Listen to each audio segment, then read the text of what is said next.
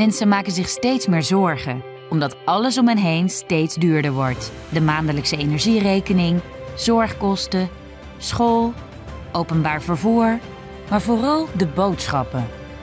Samen met elkaar kunnen we meer doen. Sociaal voor iedereen.